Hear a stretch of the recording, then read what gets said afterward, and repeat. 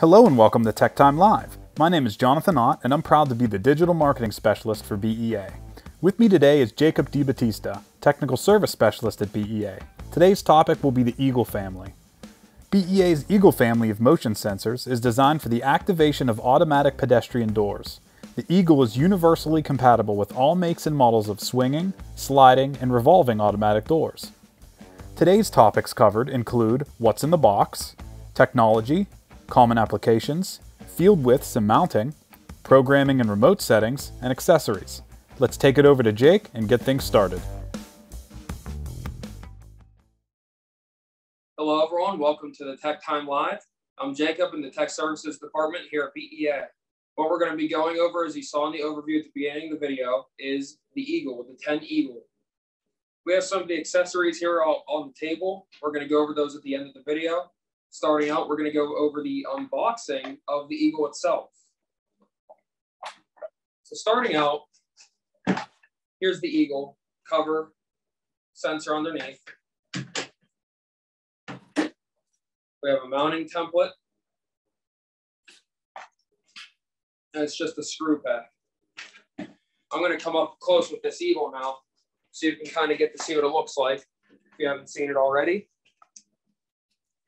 This is the Eagle. We have a microwave antenna right here. Completely shift depending on what direction traffic is coming from, up, down, side to side. We have two push buttons here if you want to program it, but the only thing you can program on the push buttons is the sensitivity, nothing else. For that, you would need the 10 remote, which you can see three different versions on the right side. The one on the rightmost side being the newest up to date one. Comes with a wiring harness in there. Green circuit board, everything here. The bracket on the back. That's the 10 Eagle. Then we have this cover right here. You can see we have that little light pipe here that lets the LED shine through. It just snaps right onto the Eagle like this. That simple. BEA has a lot of different technologies that we work with. We work with a lot of push plates. We work with radar sensors. We work with infrared, laser. The Eagle is a Doppler radar sensor. It works with microwave. So it's sending out waves from this device right here and then reflect, getting the reflecting back to see if something's approaching or going further away.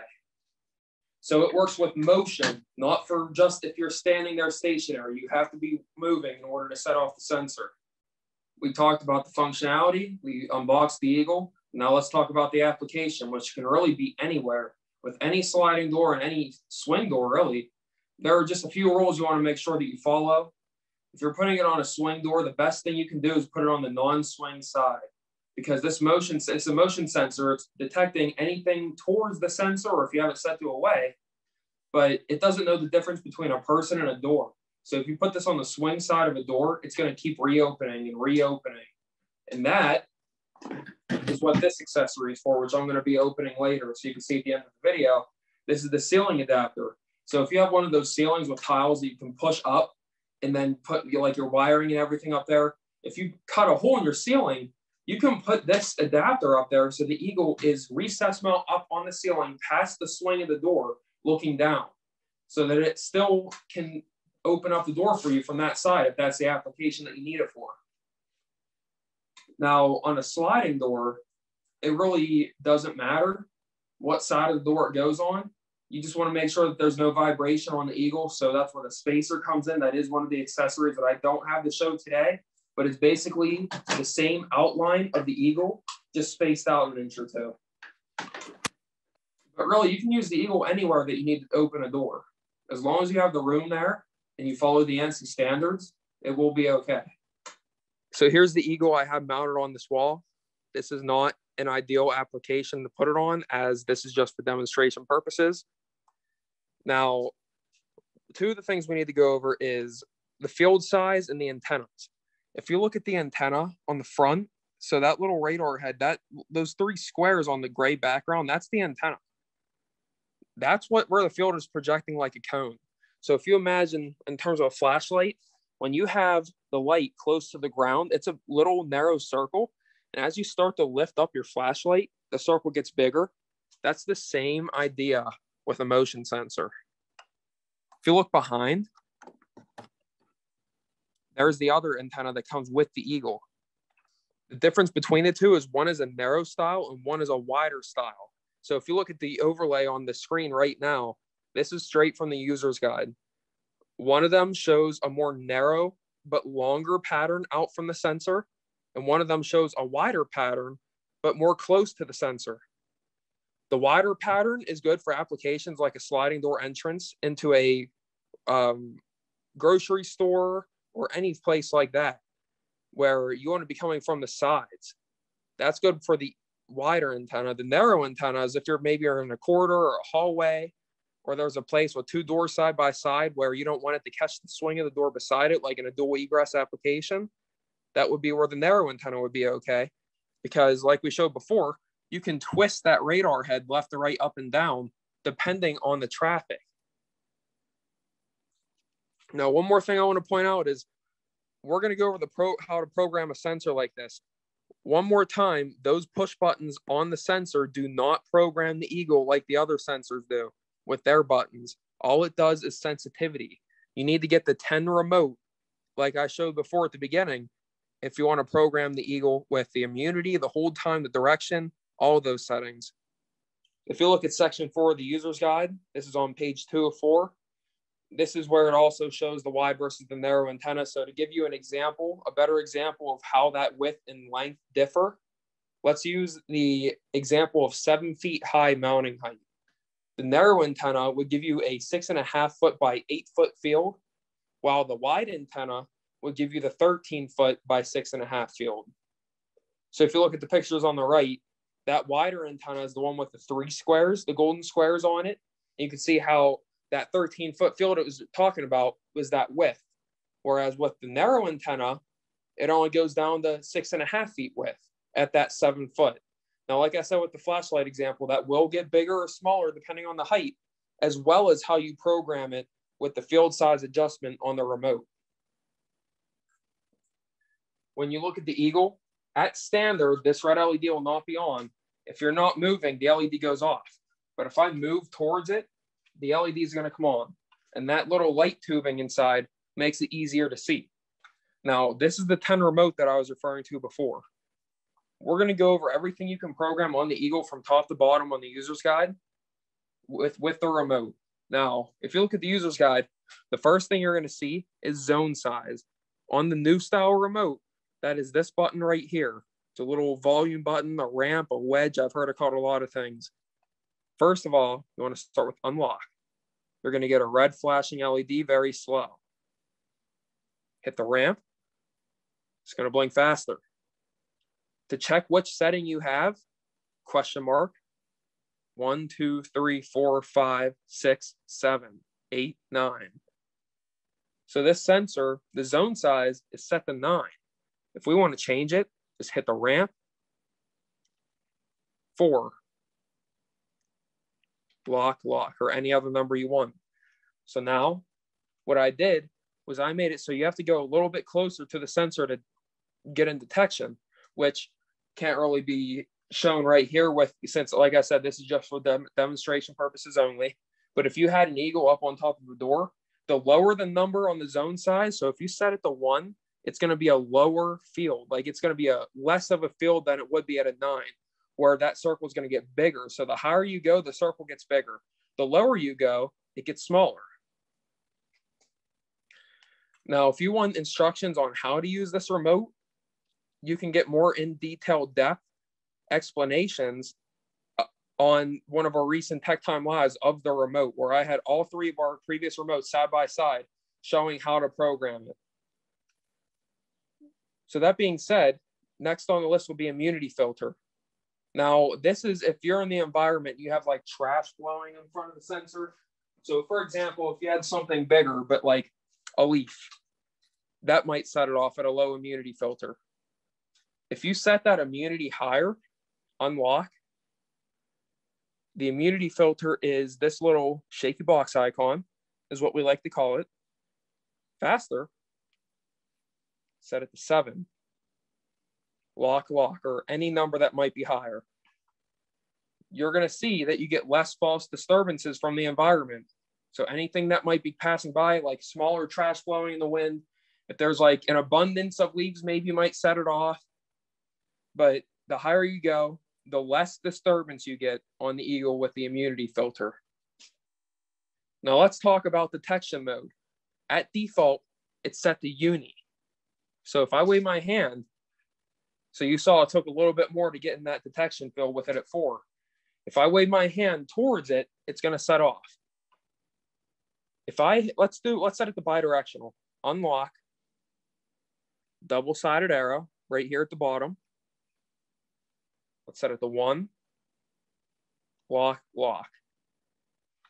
If I go towards the sensor, it's going to set off. If I go away from the sensor, so using my body, away from it, so you saw right there, it detects. If I set it to unidirectional, unlock, double-sided arrow, two, lock, lock, it'll only detect me going towards, but as I walk away, no detection. Now, what if I set it to Uni Motion Tracking Feature, which is MTF, which is what we set it at default on number three, unlock, double-sided arrow, three, lock, lock. If I walk towards that sensor now, it's gonna see me, but for as long as I'm standing in this field, like we can see here, it sets the bidirectional until I leave. And that's for an example of if you're, let's say you're coming out of a, a grocery store and you're supposed to only be exiting out the door. Well, there's a sensor on each side. If I walk, if I go to walk through that door and let's say I drop my keys and I have to go back and pick them up, it switches the bidirectional for that little bit of time to keep that door open so it doesn't close on you. And that's where the MTF feature comes in handy. Now there's one more, rather there's two more, but for explanation purposes, we'll go over the uni away. That also has an MTF feature, which you now know what it is. So motion tracking feature with the uni away, unlock, bidirectional arrow. Number four is the regular just away. We'll set it to five that has that motion tracking feature. So five, lock, lock. So as I walk to the sensor, you saw nothing happen. As I walk away, now it sees me. However, if I walk away, so just like this, now as long as I'm moving back and forth towards the sensor, it sees me every time because of the MTF feature. Let's set it back to uni. Unlock, bidirectional arrow, two, lock, lock. Now there's an output configuration setting. That's right here. Looks like a little switch. Three dots in a triangle formation with a line through the middle. Normally open versus normally closed. That's all it is. We have hold open time, which is the clock. Unlock, the clock.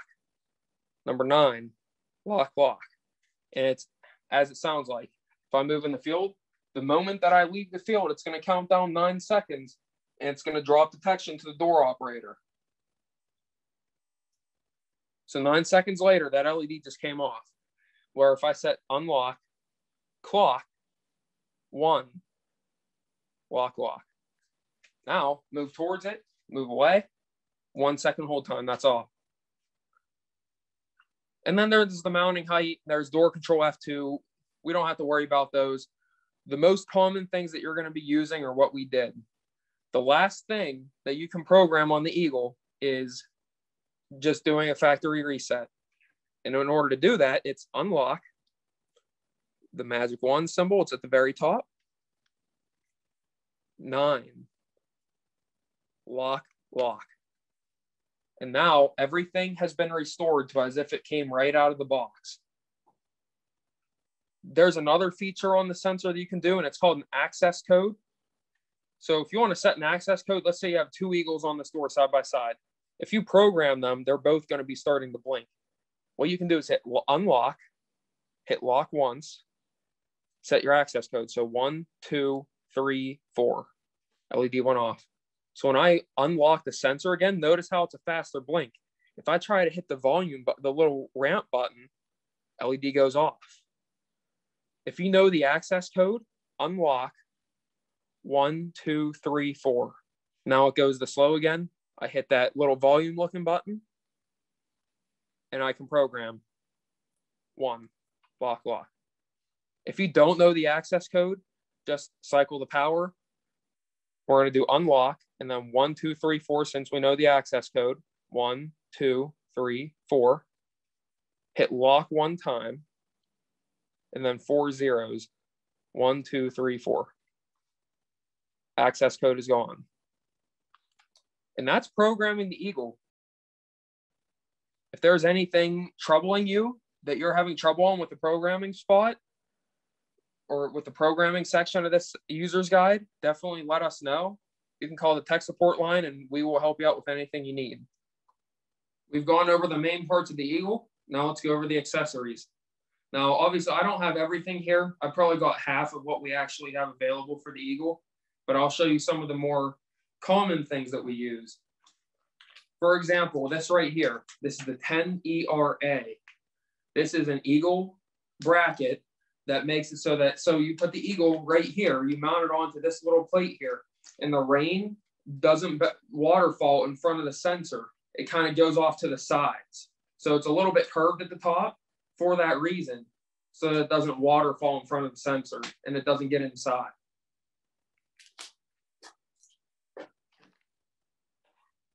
Now, here is the 10 ERC. We're going to open this up and I'll uh-huh. show you what that looks like.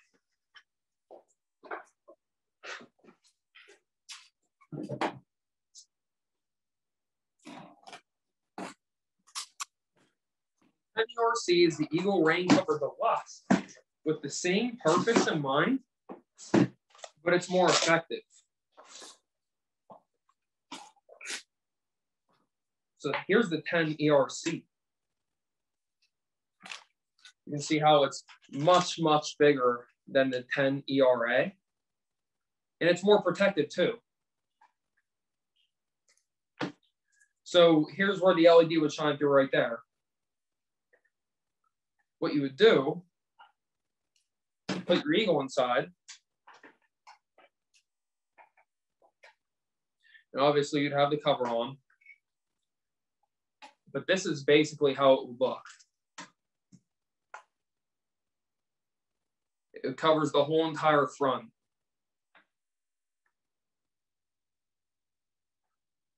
If you look closely at the back, you can see an outline of the eagle. So it shows you where you would screw it in very nicely. It's the same size as the back bracket of the eagle itself. that's the 10 ERC. Now, in the application that I told you about before, where you have to mount it onto the ceiling, or this might not look so good compared to the ceiling accessory, but if you have to mount it out past the swing of the door, there are brackets available. Now, this isn't really a common thing to use to get out past the swing, but it is available. It's our industrial bracket this is the more chosen one, is the 10 Eagle accessory, the ceiling adapter. So if we open it up,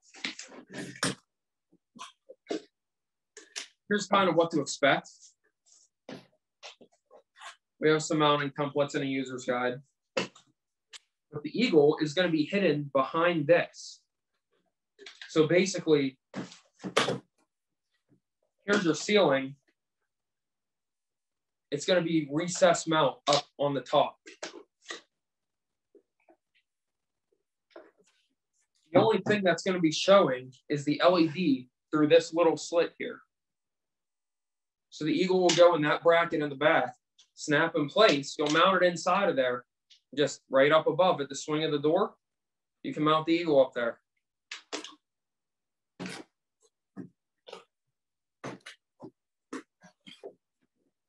some of the other things that we have available are the 10 Eagle Spacer, and then we have a video version where you put the camera underneath. So it's basically the shape of the eagle, like I mentioned before, extending it out a bit with a little camera lens on the bottom. The other thing we have is the 10 EMB, which is kind of the same concept as this, but this isn't see-through. It's more of a black colored bracket that you can mount it onto a door where there's not really any room above it. You can mount the sensor just like that. The other accessory we have available is just like the industrial bracket, but it goes out a foot. The industrial bracket goes out two to three feet. We have a mini bracket that goes out one foot. So it's a lot smaller. And that depends on the application. If you have to extend it out past something, um, that would be maybe just a foot. You can use the mini bracket so it doesn't go out as far. If you need to extend it out past maybe just something smaller, maybe there's some vibration on the door too, and you want to make it more stable, use the spacer. Thanks for watching this Tech Time Live. Hope you got the most out of it. Um, everything that you learned in this video here is stuff that you're going to be using out in the field. So if you ever need to check back into it, this is on the BEA YouTube channel. Um, make sure, just a quick tip, you always get a remote with your Eagle. If you ever need to call us before you go to an application for before installation, or if there's any advice you need, make sure to call the tech line and we will be available to assist. So until then, we'll see you in the next one.